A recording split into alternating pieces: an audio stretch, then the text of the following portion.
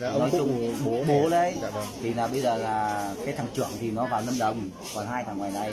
Thì là ở lâm đồng ấy thì là thằng trưởng nó về nó mới bán bán đất cho thằng này. Thì thằng này nó vẫn nói chuyện là cái thằng chết này này nó nói chuyện thằng em nói chuyện với cái thằng đâm này này. Thì nó bảo nó không lấy không có tiền lấy thằng này lấy. Thì năm mai này, này là nó nhờ thợ đến để nhồi cọc ngày mai này này thì là tối hôm qua thì nó chắc là nó bảo thằng cái thằng chết thì thằng em sang thì nó không sang, nó cho thằng cháu nó sang. Thằng con trai sang thì nó bảo đất nhà tao nó vẫn còn tầm 50 phân nữa.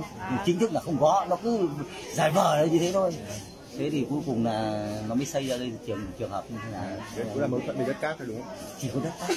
Thế là cái ông mà bị đâm là ông ấy cho con trai sang nói chuyện thì ông đâm à, ông chém ấy. ờ nói chuyện dám thì ông này không chấp nhận thì ý là bảo bố thầy bố sang ờ, là bố đeo sang thì rồi. hôm nay chắc là nó sang là nó làm việc nó là như thế.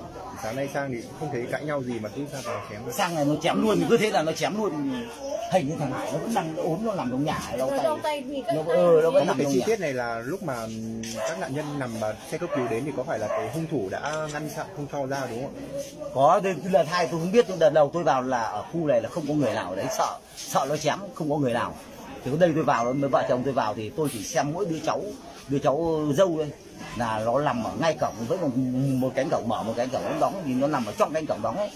Thế còn nhìn ra xa kia là đỉnh đỉnh trên những ngõ trên này là hai vợ chồng nằm đấy. Thế tôi sợ quá tôi không dám lên nữa.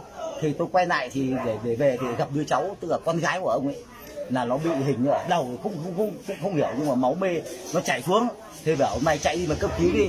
Thì nó không bảo gì nó cứ khóc thế thì tôi chạy về chạy về thì tôi bảo giờ thai thì bà chị bà lên bà kêu cái bà chị gái nhưng kêu thì thằng này chắc nó nghĩ là thằng nào kêu hay là nói gì nó ra nó phanh. Đợt hai thì con bé này chết còn chính con bắt nó nhẹ nhất. Rồi. con bắt này nhẹ nhất cơ không việc gì. Nhẹ nhất mà cuối cùng hóa ra chết. Ờ, như thế. Mà kể ra nếu nó không phay thì cũng không ai chết nó chỉ có thương tật nặng thôi không ai chết.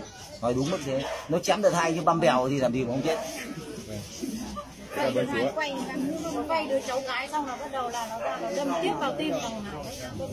Con viện nó mới tao đi viện này nó gọi con dung gọi nhiều nhát lắm. Bao nhiêu nhát ở đầu này. lại còn là ngực này ở sườn này